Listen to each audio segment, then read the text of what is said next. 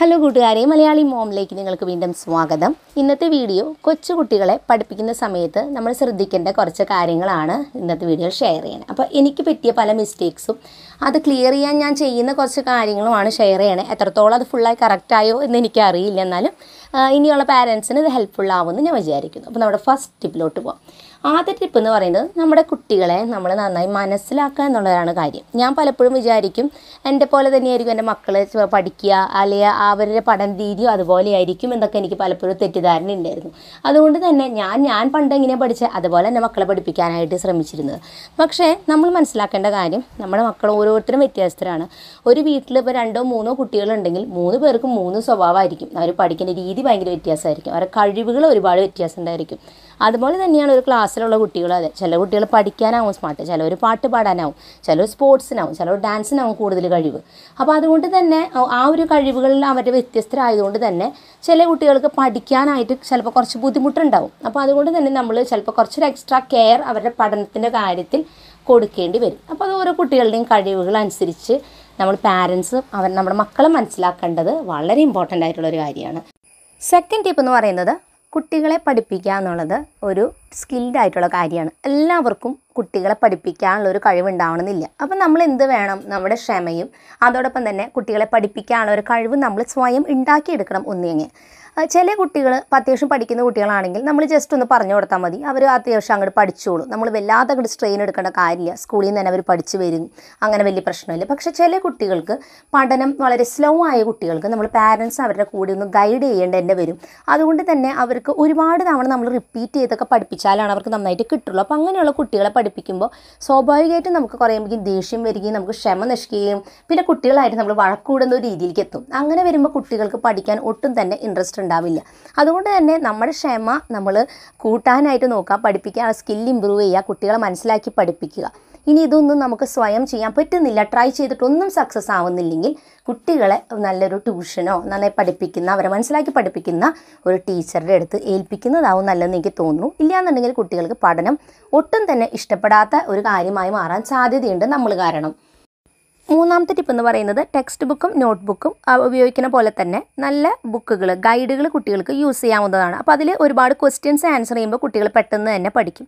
ഇത് ദിശ പബ്ലിക്കേഷന്റെ ഇതിൽ വരുന്ന ബുക്സാണ് സി ബി എസ് ഇ സിലബസുകാർക്കുള്ള ഒരു ഗൈഡാണ് ഈ കാണുന്നത്. അപ്പോൾ ഇതിൽ ഓരോ കുട്ടികൾക്ക് അതായത് അവരുടെ ഓരോ ക്ലാസ്സിനനുസരിച്ചുള്ള സബ്ജക്റ്റുകളുടെ ഗൈഡുകൾ അവൈലബിൾ ആണ് കേട്ടോ ഇപ്പോൾ മാത്സ് ആയാലും ഇ വി എസ് ആയാലും science G K cyber logical reasoning ഇങ്ങനെയുള്ള സബ്ജക്റ്റുകളുടെ ഗൈഡുകൾ അവൈലബിൾ ആണ്. അതോടൊപ്പം തന്നെ ഒന്ന് മുതൽ എട്ട് വരെയുള്ള ക്ലാസ്സുകാർക്കുള്ള ഗൈഡുകളാണ് കിട്ടുന്നത്. അപ്പോൾ ഇതിൽ നോക്കുകയാണെങ്കിൽ ഇപ്പോൾ ഒരു ചാപ്റ്റർ കൊടുത്തിട്ടുണ്ടെങ്കിൽ ആ ചാപ്റ്ററുമായി ബന്ധപ്പെട്ട ഫുൾ ഡീറ്റെയിൽസും അതോടൊപ്പം തന്നെ മോർ ഫാക്ട്സ് ചെറിയ ചെറിയ ബോക്സിൽ കൊടുത്തിട്ടുണ്ട്. പിന്നെ ഇതിൽ ഏറ്റവും ഹൈലൈറ്റ് ആയിട്ടുള്ള കാര്യം ഇതിലുള്ള ക്വസ്റ്റ്യൻ ആൻസേഴ്സ് ആണ്. അപ്പോൾ ഇതിൽ ലെവൽ വൺ ലെവൽ ടു എന്ന രീതിയിൽ ക്വസ്റ്റ്യൻസും ആൻസേഴ്സും കൊടുത്തിരിക്കുന്നത്. അപ്പോൾ ഇതിൽ പഴയ ക്വസ്റ്റ്യൻ പേപ്പേഴ്സ് ഏഴ് വർഷത്തിൽ നിന്നുള്ള പഴയ ക്വസ്റ്റ്യൻ പേപ്പേഴ്സ് ആണ് ഇവർ ആഡ് ചെയ്തിട്ടാണ് ഇതിലുള്ള ക്വസ്റ്റ്യൻസ് തയ്യാറാക്കിയിരിക്കുന്നത്. ഇതിന്റെ ആൻസേഴ്സ് അതിന്റെ ഒപ്പം തന്നെ എക്സ്പ്ലനേഷനും അടക്കമാണ് കൊടുത്തിരിക്കുന്നത്.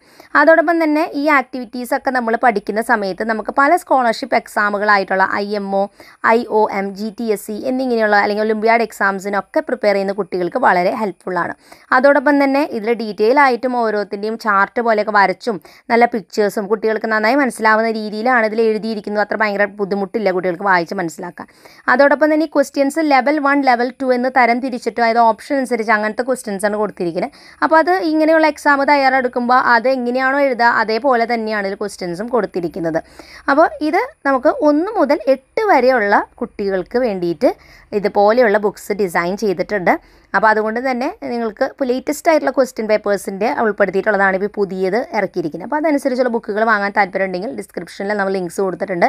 ചെക്ക് ചെയ്ത് നോക്കാവുന്നതാണ്. സി ബി എസ് ഇ സ്റ്റുഡൻസിന് ഇത് ഉപകാരപ്പെടുമെന്ന് വിചാരിക്കുന്നു. ചെറുപ്പം മുതലേ തന്നെ കുട്ടികൾക്ക് നല്ലൊരു റുട്ടീൻ ഉണ്ടാക്കിയെടുക്കുന്ന ശീലം നമ്മൾ പരമാവധി നോക്കുക. സ്ട്രിക്റ്റ് ആയിട്ട് ഫോളോ ചെയ്യണമെന്നല്ല പറ്റാവുന്ന പോലെ ഫോളോ ചെയ്യുക. അതായത് വൈകുന്നേരം ഉറങ്ങുന്ന സമയം എഴുന്നേൽക്കുന്ന സമയം അവർ പ്ലേ ടൈമിന് വേണ്ടിയുള്ള സമയം അതുപോലെ പഠിക്കേണ്ടത് എപ്പോഴാണ് എന്നിങ്ങനെ ഒരു അവരുടെ ഒരു ടൈമിംഗ് അനുസരിച്ചല്ല നമ്മളൊന്ന് സെറ്റ് ചെയ്ത് നമ്മൾ അവർക്ക് കൊടുക്കുക. നമ്മൾ തന്നെ അവരത് ചെയ്യാനായിട്ടൊന്ന് മോട്ടിവേറ്റ് ചെയ്തുകൊണ്ടിരിക്കുക. അപ്പോൾ അത് കുറച്ചും കൂടി പഠിക്കാൻ അവർക്ക് ഹെൽപ്ഫുള്ളായിരിക്കും സിക്സ് ടിപ്പ് എന്ന് പറയുന്നത് ക്ലാസ് വിട്ട് വന്നു കഴിഞ്ഞാൽ എന്തൊക്കെയാണ് ക്ലാസ്സിലെടുത്തതെന്ന് അവരോട് തന്നെ ചോദിച്ച് മനസ്സിലാക്കുക. അതോടൊപ്പം തന്നെ ഒരു നോട്ട്ബുക്കിൽ അവരെ കൊണ്ട് തന്നെ അത് എഴുതിപ്പിക്കുക. ഇന്നതാണെന്ന് പഠിക്കേണ്ടത് എന്ന് കൃത്യമായിട്ട് എഴുതിപ്പിക്കുക. ടെസ്റ്റ് പേപ്പർ ഉണ്ടെങ്കിൽ അതൊക്കെ എഴുതിക്കുക. അത് എഴുതി വെച്ച ശേഷം പഠനം സ്റ്റാർട്ട് ചെയ്യുക. അപ്പോൾ ഓരോ സബ്ജക്റ്റും പഠിച്ചു കഴിയുമ്പോൾ ആ സബ്ജക്റ്റിന് നേരെ ടിക്ക് ഇട്ട് കൊടുക്കുക. അപ്പോൾ അങ്ങനെ ഒരു രീതിയിൽ അവരെ കൊണ്ട് തന്നെ സ്വയമായിട്ട് അവരുടെ പഠിക്കാനുള്ള കാര്യങ്ങൾ ചെയ്യിപ്പിക്കാനായിട്ട് നോക്കുമ്പോൾ അങ്ങനെ ചെയ്ത് ചെയ്ത് വരുമ്പോൾ ഒരു ഏജ് എത്തുമ്പോൾ അവർ തനിയെ അത് ചെയ്യാനായിട്ട് തുടങ്ങും. അപ്പോൾ അതിനൊരു പ്രാക്ടീസ് നമ്മൾ ചെറുപ്പം മുതലേ ചെയ്യിപ്പിക്കുക. അല്ലാതെ നമ്മൾ തന്നെ അവർക്ക് വേണ്ടി എല്ലാം ചെയ്ത് കൊടുത്തുകൊണ്ടിരിക്കുമ്പോൾ അവരൊരിക്കലും സ്വന്തമായിട്ടൊരു കാര്യം ചെയ്യാനായിട്ട് പഠിക്കില്ല. സെവൻ ടിപ്പ് എന്ന് പറയുന്നത് കുട്ടികൾ പഠിച്ചുകൊണ്ടിരിക്കുമ്പോൾ തന്നെ അവർ കുറേ അധികം ആവണ്ട കുറച്ച് പഠിച്ചു കഴിയുമ്പോൾ ഒരു ഈസി ആയിട്ടുള്ള ക്വസ്റ്റ്യൻ ഒന്ന് അവർക്കൊന്നൊരു ടെസ്റ്റ് പേപ്പർ പോലെ ഇട്ട് കൊടുക്കുക. അതൊന്ന് ആൻസർ ചെയ്യാൻ പറയാം. ആൻസർ ചെയ്ത് കഴിയുമ്പോൾ ഈസി ആയിട്ടുള്ള ക്വസ്റ്റ്യൻ ആകുമ്പോൾ അവർക്ക് അത് ആൻസർ ചെയ്യുമ്പോൾ ചിലപ്പോൾ അത് അത്യാവശ്യമൊക്കെ ശരിയാക്കിയിട്ടുണ്ടാവും. അപ്പോൾ അവർക്ക് അതൊരു അച്ചീവ്മെന്റ് പോലെയാണ്. ആ അതൊരു സന്തോഷം തോന്നും. ഇത്ര നേരം ഞാൻ പഠിച്ചിട്ട് എനിക്ക് ഇത്ര കിട്ടിയല്ലോ എന്ന്. അപ്പോൾ ഇടയ്ക്ക് ചെറിയ ചെറിയ ഇങ്ങനെ ഒരു ടെസ്റ്റ് പേപ്പർ പോലെ ചെറിയ ഓരോ ക്വസ്റ്റ്യൻസ് ഇട്ട് കൊടുക്കുക. തെറ്റുകൾ പറ്റിയിട്ടുണ്ടെങ്കിൽ അത് പറഞ്ഞാൽ അത് മനസ്സിലാക്കി തിരുത്തുക. അപ്പോൾ പഠിക്കാൻ ബുദ്ധിമുട്ടുള്ള കുട്ടികൾക്ക് പ്രത്യേകിച്ച് ഇങ്ങനെയുള്ള ചെറിയ ചെറിയ അച്ചീവ്മെന്റ്സ് കിട്ടുമ്പോൾ അത് ഭയങ്കര സന്തോഷമാണ് കാരണം ഒരുപാട് ടഫായിട്ടുള്ള ഒരു പോർഷൻ എടുത്ത് അവർക്ക് കൊടുക്കുന്നതിലും നല്ലത്. കുറച്ച് ഈസി ആയിട്ടുള്ളത് ആദ്യം കൊടുത്ത് അതൊന്ന് സെറ്റായി കഴിയുമ്പോൾ അടുത്തൊരു ടഫുള്ള ക്വസ്റ്റ്യനിലോട്ട് പോകുന്നതായിരിക്കും.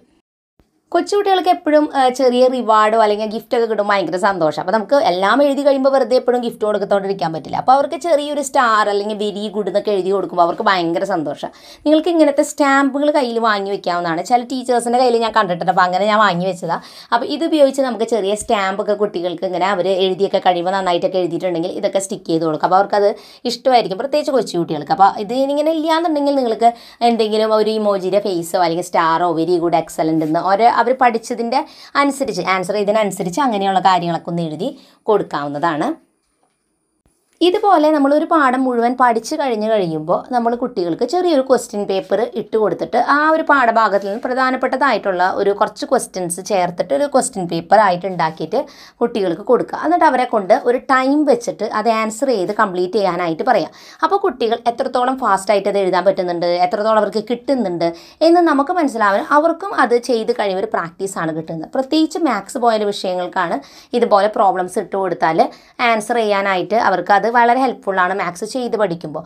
പക്ഷേ കൊച്ചുകുട്ടികൾക്ക് മാത്സ് മാത്രമല്ല എല്ലാ വിഷയങ്ങളും ഇടയ്ക്കൊരു ടെസ്റ്റ് പേപ്പർ ഇതുപോലെ നമ്മൾ തന്നെ സ്വയം ഒന്ന് എഴുതി കൊടുത്താൽ അവർ അവർക്കത് ഭയങ്കര നല്ല പ്രാക്ടീസ് ആയിരിക്കും. അപ്പോൾ പഴയ ക്വസ്റ്റ്യൻ പേപ്പേഴ്സ് അല്ലെങ്കിൽ എന്തെങ്കിലും എടുത്തു വെച്ചിട്ട് അത് ആൻസർ ചെയ്യിപ്പിച്ച് നോക്കുന്നതും വളരെ നല്ലൊരു ഹാബിറ്റാണ് നയൻത്ത് ടിപ്പ് ഒരു വൈറ്റ് ബോർഡോ ഇല്ലെങ്കിൽ ഒരു സ്ലേറ്റോ കയ്യിൽ കരുതുന്നത് നല്ലതായിരിക്കും. എൽ പി സ്റ്റുഡൻസ് പ്രത്യേകിച്ചും. അവർക്ക് കുറേ എഴുതി പഠിക്കാനുണ്ടായിരിക്കും. ഒരു നോട്ട് ബുക്ക് വെച്ചിട്ട് അതിൽ എഴുതി പഠിക്കാൻ തുടങ്ങിയ ഒരുപാട് പേജസ് അതിന് വേണ്ടി വരും.